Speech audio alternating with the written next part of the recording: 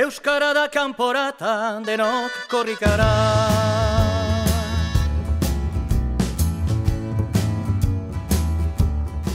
Egunon eta eskerrik asko gaur ona aikaren eta korrikaren agerraldi garrantzitsu honetara hurbildu zareten guzti guztioi. Edabideoi gaur etorri zareten ikasle zein irakasleei eta bereziki horiei arnazera, arnaza ematera etorri zareten euskalgintzako kideok.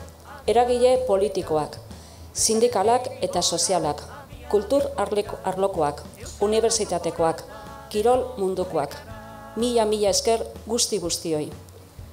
Izan ere, unkituta ikusten ditugu horrelako agerraldiak. Aliziak oso ondo esan duen moduan jaio ginenetik zuen babesa, herritarren babesa jaso dugu.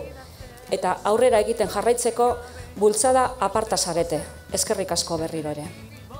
Hala da, Aeka indartzu jarraituko du bere zereginekin. Ostopo guztien gainetik indartzu jarraituko dugu. Euskal Herriko txoko guztietan gu ere eraldaketaren eragile izaten jarraitu du, jarraituko dugu eta jarraitzea nahi dugu. Euskara ezagutzeko eta erabiltzeko aukerak sortuz. Izan ere, Baionako korrikako bukaeran ametsar zaiusek azpimratu zuen bezala herri hau Euskaraz izanen da ero ez da izan da. Gainera, guztiz konbentziuta gaude, Euskal Herri Euskalduna berriz ikusteko hizkuntzaren espazio guztiak Euskaraz behar direla. Zerrezanik ez, heldu ona.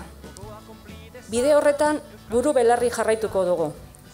Ikerketa guztiek berresten duten bezala, Euskarak azken urteetan irabazi dituen iruro mila iztunetatik, hoien erena, aekaren zein gainontzeko euskaltegi bati, euskaltegian esker lortutakoa dira.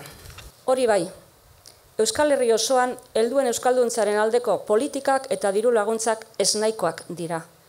Eta oso oso larria Nafarroan dugun egoerak. Azken bi ikasturtetan ez dugu sentimo bat ere jaso.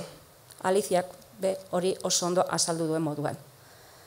Hori horrela izan da, inoiz baino indartzuago korrika berri baten prestaketari heldu diogu beste behin ere. Emeretzigarren korrika hemen dugu, bi hilabete barru, urepeletik azteko zain, bilborako bidea eginez zuen guztion laguntzari esker. Nire aldetik besterik ez. Orain, korrikaren izenean, Azierra Mondok hartuko doitza. Emeretzigarren korrikak gaur egiten ari garenaz hitz egiten du, Euskalduntzeaz. Andreak bezala milakarritar erdaldunek Euskara ikasten hasi eta Euskalduntzerako bidea hartu dute eta hortaz ari da korrika emeretzi. Susana bezalako irakasleak bide horretan lagun izatearen Euskalduntzea hitz egiten du emeretzi garren korrikak. Oztopoen aurrean, gurekin batera ditugun normanako eta eragileek ematen digute arnazaren Euskalduntzeaz hitz egiten du emeretzi garren korrikak. Jabetu gaitezen gure gaitasunaz, eta erabil dezagun gaitasun hori. Meta ditzagun zure eta gure indarrak euskaltegitan ari diren irakasle eta ikasle horien lana bultzatzeko. Korrika, euskaltegien lana zaintzeko jaio zen garai hartako administrazio nagusien utzikeria gainditzeko. Gaur entzun dugun bezala, egoera ez da guztiz normaldu. Ez guk nahiko genuken beste behintzat. Beraz, inoiz baino beharrezkoa da gure almena erabiltzea, euskalduntzea eta korrika bultzatzea. Izan gaitezen korrika laguntzaileak amabi euroren truke. Milaka lagun korrikaren auspoa bihurtzen ari gara eta korrikaren auspo horiek aekako euskaltegien lanerako arnasa bilakatuko zaizkigueta. Era berean, bete ditzagun martzoan Euskal Herri osoko errepideak. Antola gaitezen lantokian, familian, elkartean eta kuadrilan kilometroak erosteko, edo hartzeko eta guztien artean konpartitzeko.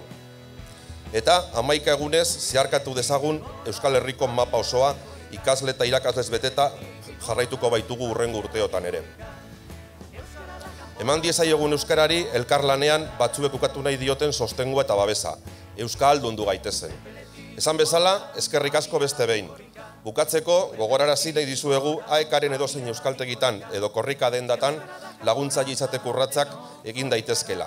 Eta otzaiaren hasiratik aurrera, kilometroak eskuratu izango dituzuela gure edozein euskaltegitan. Eskerrik asko, egin diguzun harreragatik eta urren arte. Euskara da kanporatan denok korrikara.